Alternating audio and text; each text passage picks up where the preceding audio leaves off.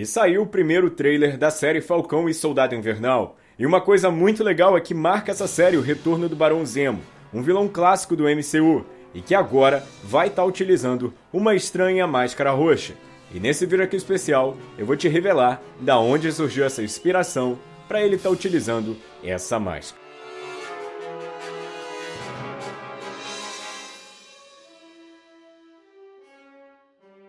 Fala Jovem Herói, seja bem-vindo ao canal que conta a história do seu personagem favorito. Eu sou Jonathan Maia, e olha, eu tô muito ansioso para essa série do Falcão e do Soldado Invernal, principalmente que ela vai marcar o retorno do Barão Zemo, um vilão que a gente conheceu em Capitão América Guerra Civil, que causou caos entre os heróis. E olha, eu tô muito animado para poder ver essa série, tô muito ansioso para ela, mas principalmente algo que me deixou assim surpreso foi descobrir que agora o Barão Zemo vai utilizar um visual parecido dos quadrinhos com a sua máscara roxa.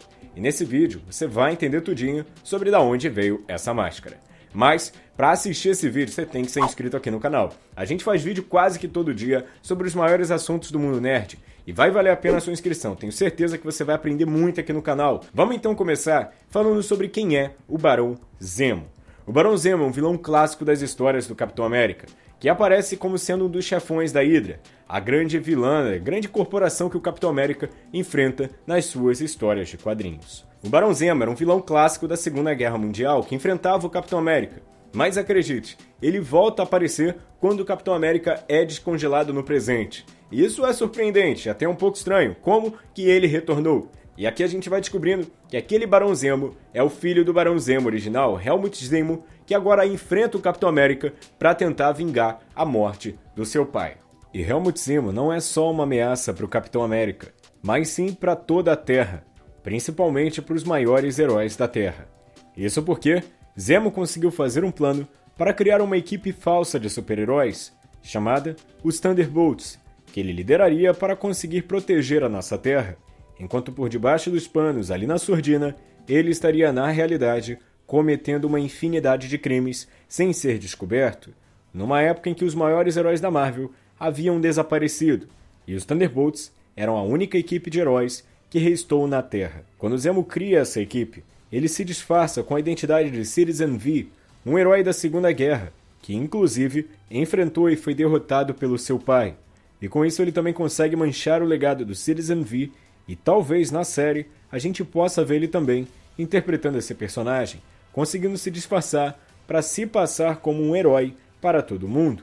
E assim, poderíamos ver no futuro a aparição dos Thunderbolts, a equipe liderada pelo Barão Zemo. E é nesse personagem, Helmut Zemo, que o MCU decidiu se basear, um personagem movido por vingança. No primeiro filme que ele é apresentado, ele é interpretado pelo ator Daniel Bru, e tem o objetivo de acabar com todos os super-heróis da Terra.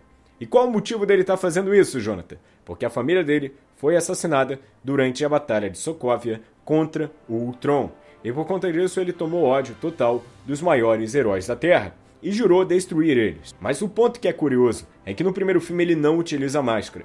E ele faz questão que todos os atos que ele faça, os heróis saibam que foi ele que mexeu ali as cordinhas e os manipulou feito marionetes fazendo com que os heróis até mesmo saibam que eles estão lutando entre si por culpa do Zemo.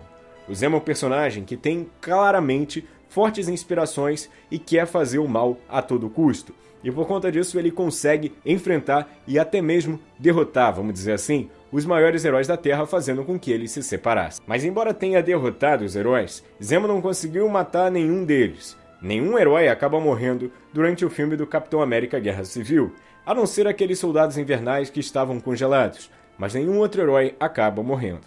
Só dois grandes vilões da Marvel acabariam conseguindo matar heróis relevantes que a gente conhece: Ultron e Thanos. Vamos começar aqui falando de Thanos. Thanos chega no filme do Vingadores Guerra Infinita e já derrota no mano a mano o Hulk, e além disso ainda mata Heimdall e Loki. E ao longo do filme, ele ainda mataria outros personagens, como Gamora e, por fim, visão. Isso sem contar que ao estalar seus dedos, Thanos faz com que metade da vida no universo desapareça. Então, bilhões de vidas são perdidas em segundo com apenas um estalar de dedos do Thanos. E isso desestabiliza tanto os Vingadores pelas perdas na batalha e também pelas perdas ocasionadas pela vitória do Thanos, que faz com que os heróis demorem 5 anos para bolar um plano de conseguir trazer as pessoas de volta. Sem sombra de dúvidas, Thanos foi o vilão que mais desestabilizou os Vingadores. Então, Barão Zemo vai estar tá utilizando uma máscara roxa em homenagem ao Thanos.